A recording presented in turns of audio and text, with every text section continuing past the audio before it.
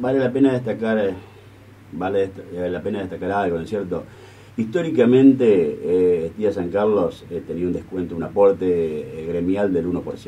Imaginas que eso es muy poco dinero, es imposible de poder manejar, o sí, de pronto mantenernos con eso y nada más, ¿viste? No ni siquiera intentar decir, bueno, vamos a hacer esto, vamos a hacer lo otro. Bueno, hace tres años atrás, dos, sí, tres, empezamos con un 1% más, o sea que el afiliado aporta el 2% y ya con eso es más dinero, entonces bueno, está a la vista todo lo que estamos tratando de hacer.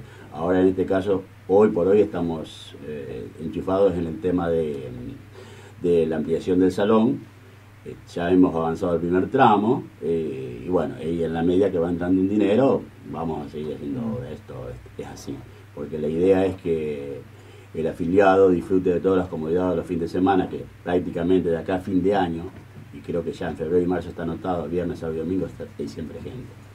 Entonces, el afiliado que va, el afiliado que va este, a, mm, digamos, a estar el fin de semana en una fiesta, familiar o lo que fuere, que disfrute de de las instalaciones que van a quedar muy bien. Pero claro, va a llevar bastante tiempo todavía esto, porque vamos a poner aire acondicionado, un montón de cosas que todo es dinero, ya que podamos ir avanzando. La prioridad es el, salón. El salón, sí, sí, sí. Porque de pronto en verano, viste, tenemos Lo van a ampliar en principio.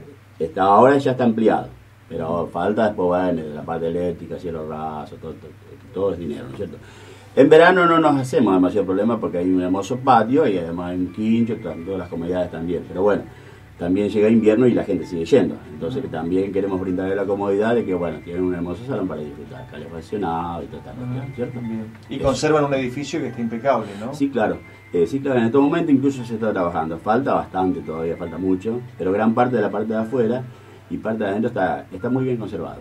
En estos últimos tiempos hemos de todas las habitaciones prácticamente de la casa, que es una casa de 121 años, 122, eh, te diría que está en buenas condiciones.